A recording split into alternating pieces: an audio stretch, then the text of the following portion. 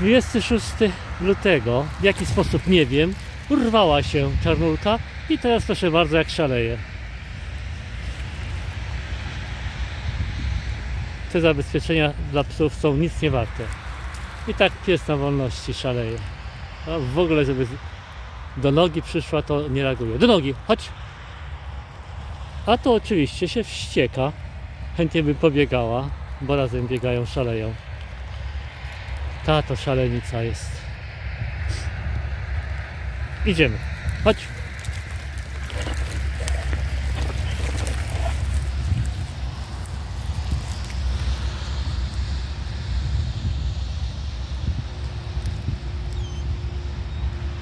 No piszczy z tęsknoty.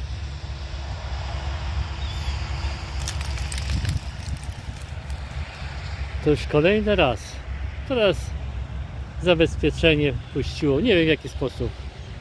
Wyrwała się i już jej nie ma. Jeszcze ją widać, ale pobiegła dość daleko.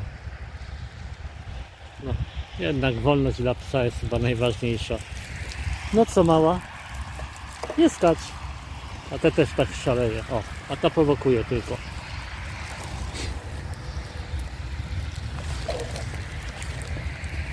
Nauczyły się biegać na swobodzie, zadawały podwórko i stąd takie zachowanie. Nie mam żadnych szans, żeby złapać. O, następna. O, poszła. Tak jest, o. Szalenica. Ta lata jak durna. A ja za nią.